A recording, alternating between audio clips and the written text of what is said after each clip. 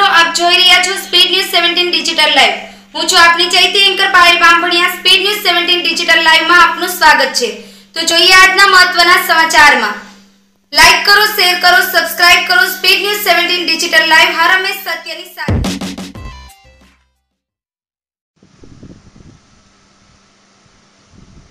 ખોડલધામના આંગણી પાટીદાર સમાજની બેઠક.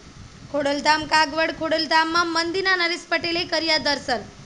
દર્શન બાદ પત્રકારો સાથે કરી વાત. આજે ખોડલધામ ખાતે લેવવા પટેલ અને કડવા પટેલના આગેવાનોની બેઠક. બેઠકમાં પટેલ સમાજ અંગે રાજકીય સામાજિક અંગેના દરેક ક્ષેત્રે લેવાશે નિર્ણય. Bureau report speed news seventeen Harmesh સત્યની સાથે.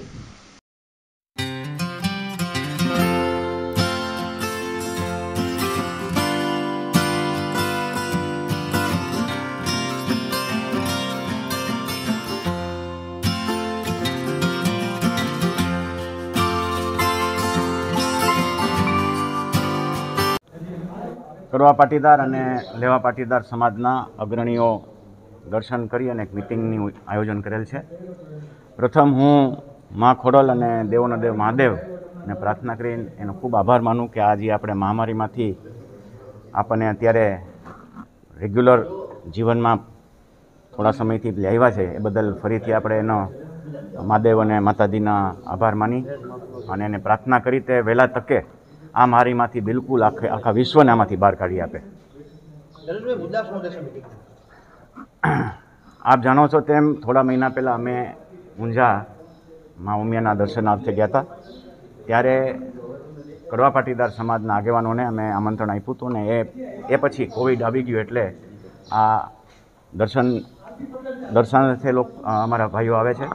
અને ત્યારબાદ એક મિટિંગ જે સમાજના પ્રશ્નો સમાજનો વિકાસ અને સમાજની જે પરિસ્થિતિ અત્યારે છે જે ત્યાં ડિસ્કશન થયું હતું એનું જ અત્યારે ક્યાં સુધી પહોંચ્યું અને આગળ એને કેમ લઈ જવું એનું ડિસ્કશન થશે. રાજકીય ચર્ચા કોઈ કરવા? રાજકીય ચર્ચા પણ હશે સામાજિક ચર્ચા પણ હશે અને શૈક્ષણિક ચર્ચા પણ હશે. સમાજને કંઈ અન્યાય થતો હોય તે બાબતની ચર્ચા થતી હોય એવું લાગે બિલકુલ થશે. સમાજને જ્યાં જ્યાં અન્યાય થશે હશે એની પણ ચર્ચા થશે. એટલે સમાજમાં ઘણા સમયથી આ મુખ્યમંત્રી પદ નથી મળ્યું એવું સમાજમાં લાગી રહ્યું તો સમાજમાં કોઈ મુખ્યમંત્રી પદ તરીકે કોઈને પ્રોજેક્ટ કરવાનું અથવા તો આ બાબતે કોઈ પક્ષને સપોર્ટ કરવા બાબતે?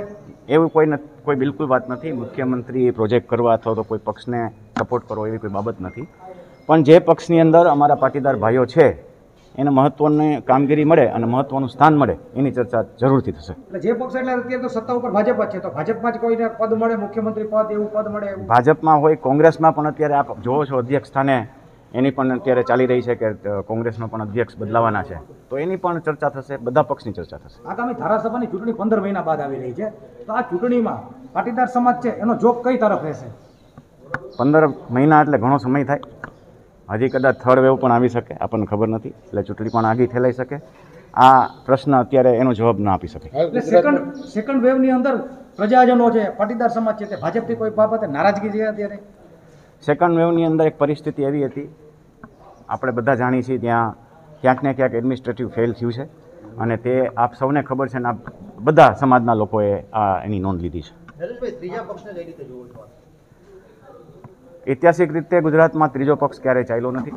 પણ આપની કામગીરી અને આપનું જે અત્યારે દિલ્હીની અંદર નામ છે એ બાબતે હું પર્સનલી એવું માનું છું કે આપને ફાયદો થશે. અનામતનો મુદ્દો ચર્ચાઈ ચૂક્યો છે ને હવે ઘણા ટાઈમથી પૂરો થઈ ગયો છે. નરેશભાઈ એક એવું ગયા વખતે જ્યારે પાટીદારોની બેઠક મળી ત્યારે એવી ચર્ચા થઈ હતી કે જયેશ પટેલ જે ખંડણી ફોર જામનગરના છે તે અને નિખિલ ડોંગા બાબતે પણ તેને રાજ્ય સરકાર મુક્ત કરે એવી કોઈ માંગ અથવા તો એવી કોઈ ડિમાન્ડ? બિલકુલ નહીં. બિલકુલ નહીં. એવી કોઈ ચર્ચા જ નથી ક્યારેક એટલે ગયા વખતે આપણે ચર્ચાઓ બધી સોશિયલ મીડિયામાં પ્રિન્ટ મીડિયામાં સોશિયલ મીડિયા હું આપને કહું મીડિયા સોશિયલ મીડિયા અને કોઈ નરેશ પટેલ વતી ખોડલધામ વતી બોલે એ અલગ વસ્તુ છે. મારા મુખે સાંભળો એ અલગ વસ્તુ છે. એટલે એવું ઈચ્છો કે પાટીદાર મુખ્યમંત્રી હોઈ શકે? કયો સમાજનો હોય છે? એનો મુખ્યમંત્રી ન હોઈ શકે. બિલકુલ માની છીએ અમે કે પાટીદારના મુખ્યમંત્રી હોઈ શકે. આ બાબતે કોઈ ચહેરો તમારા ધ્યાનમાં છે? કોઈ પાટીદારનો મુખ્યમંત્રી અત્યારે અત્યારે અત્યારે અત્યારે નથી કોઈ કોઈ પણ પક્ષમાં? કોઈ પણ પાટીદાર સમાજને કેશુબાપા પછી નેતૃત્વ કેવું મળ્યું પાટીદાર કેશુબાપા કેશબાપા પછી પાટીદાર સમાજનું નેતૃત્વ થોડું વીક પડ્યું છે અને એના અર્થે જ આ રાજકીય જે બાબતો ચર્ચવાના છે એ આ મુદ્દાસર જ ચર્ચવાની બાબત છે. Thank you